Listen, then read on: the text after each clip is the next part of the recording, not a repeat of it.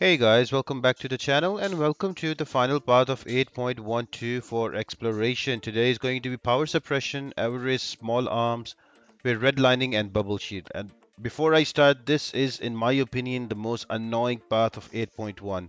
It's, it's, it's just really annoying to deal with. Bring in your science champion that have a lot of debuffs. So for example, your Void, Mr. Fantastic, Anti-Venom, uh, I-Bomb, and Captain America with the right synergies, uh, Quicksilver, all of these champions will work. You need just need a lot of debuffs to keep the defenders uh, power locked.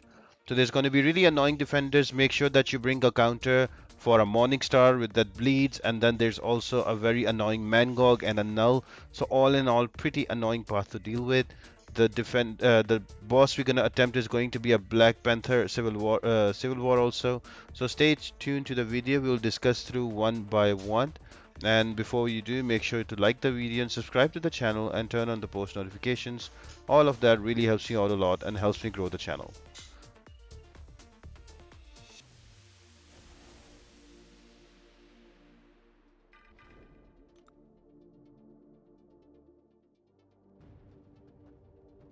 So the first fight is going to be a Juggernaut and I would highly suggest you to bring in your science champion like Immortal Abomination, Professor uh, sorry, Quicksilver, Mr. Fantastic, Scorpion, Void, Anti-Venom, all of these champions that have a lot of debuffs because when you will use the special you will power lock the opponent and once the opponent is power locked when the cooldown will be over it will look for another debuff on the opponent and refresh itself. Something like that happens with Gwenpool's Bleed. It's a similar mechanic but with a power lock.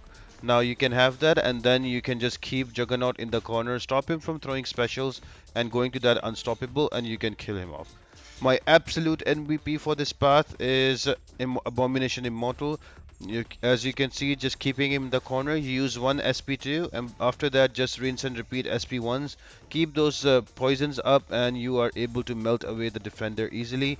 It's all about controlling the power with the power lock with science champions and you are good. You can use another champion somebody like magic but because there is going to be a node that is redlining is you have to use your power as you as soon as you get to two bars of power otherwise you will be powered in so you have to keep an eye on that as well. And also don't take them to more than two bars of power or a near SP3 because they also have Avarice that gives them a power gain buff every 15 seconds. So just be wary about that. Uh, try to use your specials uh, when D does not have power try to take them in a corner. So that will help out. For me this has been the most annoying part for 8.1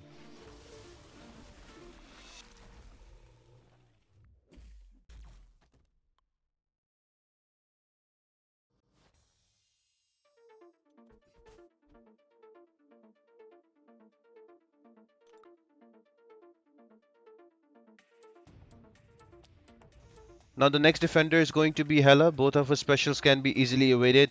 Now you will notice that I brought a non-science champion here. I brought uh, Black Widow Clairvoyant. A lot of my champions were locked into uh, Alliance War and Alliance Quest, so I could not bring the champions I wanted to. So I used uh, Black Widow Clairvoyant. Now this fight you can do much more easier if you bring in a Longshot. He does a much better job here. Otherwise, just bring in your science champion and you can slowly chip away with all of those debuffs. For example, Void will do really well here. Mr. Fantastic will also do really well here. And if she has one or two bars of power, you can do extra damage with your specials as an attacker. So yeah, just slowly chip away. Because I'm using a Mystic Champion, took me a, a bit longer time to kill her. But it is doable fight with uh, any other champion. But I would suggest bring in the Science Champion power lock below one bar of power. And you can just keep repeating that and keep putting those debuffs and keep uh, the defender power locked.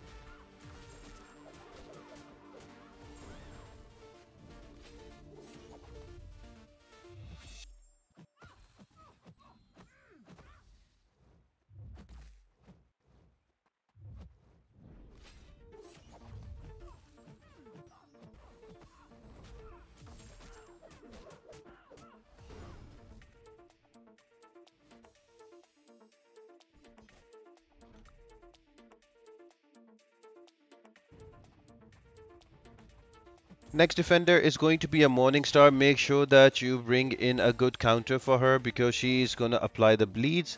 So all you need to do is to bring in the science champion, preferably who is also bleed immune. Take her to a corner and then you can just uh, use a special attack like that. And now she is enervate. She cannot gain power. And I like to just do heavies in the corner and that do all the damage to her whenever she will get one bar of power I will move away but apart from that I can just do heavy attacks keep her trapped in the corner with a science champion and she will die very quick. Some of the good options can be Magneto because she's a metal champion 1 SP3 should kill her. Also anybody that is bleed immune would work here as well. Try to use champions that have that bleed immunity so you can avoid the bleeds from hitting her and not die and kill her off. Any champion that has energy attack would also work so plenty of different options. My favorite one is human torch. If you have human torch bring him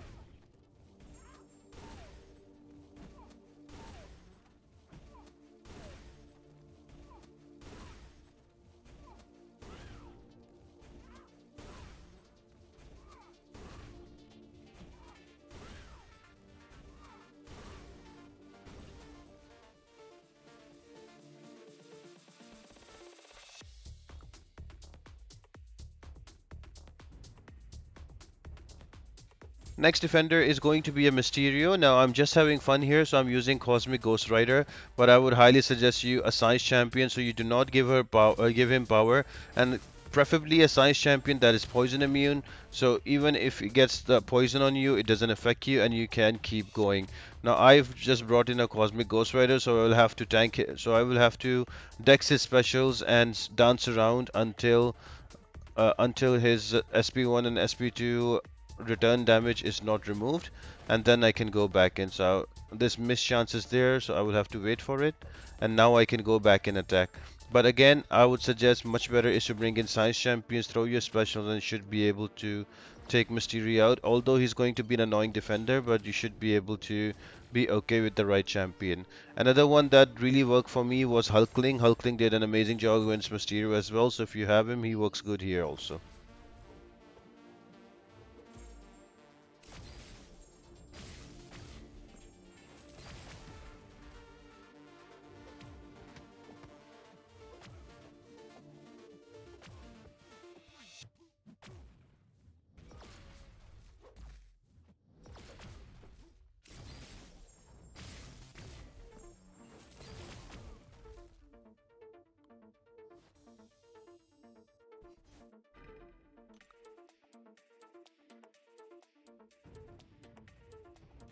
And next defender is going to be a very annoying and pesky Mangog with all of that power gain and his SP1s and SP2s. Now remember to keep a special with you in case he gets to 10 of his rage charges as he goes unstoppable. It will happen with me twice. Now I did try to throw an SP2 and control his power and uh, keep him into a corner but he throws an SP1 here and then he goes unstoppable and in the meanwhile I run out of the poisons so that can be a bit annoying. Now I have to dance around. So his rage charges go away and his unstoppable goes away. So yeah. That this is the only annoying part. If you're using somebody like Captain America Infinity War or any science champion that can go against Unstoppable and take care of Unstoppable like She-Hulk you should be good here as well. But I prefer Immo uh, Abomination Immortal because of all of his damage and the poison he does so he takes away him very very quickly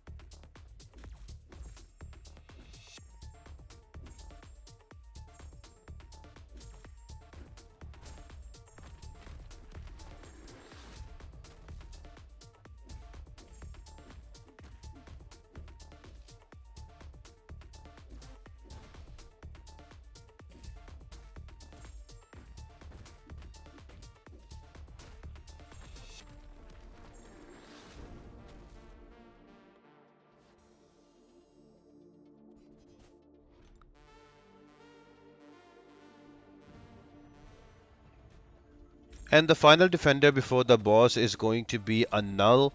Now with Knull, he's a pretty straightforward and easy defender. His SP2 is easily evadable. The only problem happens when he armor breaks you and also when he throws an SP1 and he can reverse your controls. If you can get past that, this fight is very easy to deal with. So to get past the Armor breaks, I've brought in an armor break immune champion that is going to be a Doctor Doom. I brought in a 5 star version so it is more relatable. I could have brought in a rank 4 as well, but this fight is actually a little difficult so you have to really play slow here. I would still suggest bring science champions that have quite a lot of debuffs and by the time you bait out one SP2 there should be enough debuffs on uh, Knull that he will not gain any more power. So just be careful about that once you have him power locked and all the debuff champions will do the rest. For me, I just used in a Doctor Doom and spam my SP2s, so that helped me out and I was able to take him down and I healed up of uh, willpower as well. So again, this is an annoying fight. It's a very difficult path in my opinion. Make sure to bring in the right champions. Mostly you will have to bring in science champions. Just be careful about bringing a bleed immune champion for that morning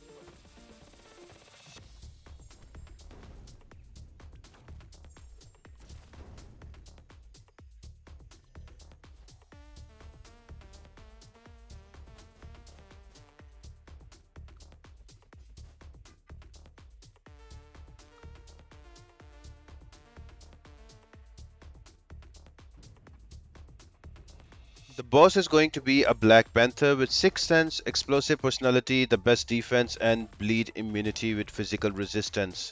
Now there's also buff synthesis so whenever you as an attacker will have an armor up and you will get a precision buff on you, you will convert into true buff. And this fight is all about having the true uh, buff and and being able to bypass the auto block for me, I am using Odin because I get true sense whenever I use an SP1 and also it refreshes every time. Also, I get armor up, so this is like a double insurance for me because what happens if you cannot bypass the auto block because the chances are increased because of 6 sense also, sorry, the best defense also, you end up hitting the defender in his block and once you hit him 5 times, he gets 5 armor ups and those explode in your face and give, give you 25% of your health as damage because of explosive personality.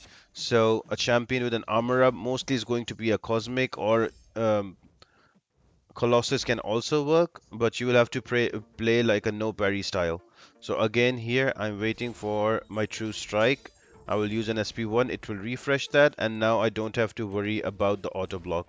If you want to check out another takedown with Angela, it was on the previous video so you can check that as well and this is a takedown with Odin. So I hope you find this helpful guys and it helps you beat uh, beat Black Panther and complete 8.1.2. Now the two the only parts remaining are going to be 8.1.1. So I'll see you there guys and if you want to check out more videos check out the playlist on the top right and the most recent upload on your left. So I hope you all have an amazing day and I'll see you at the end of the video.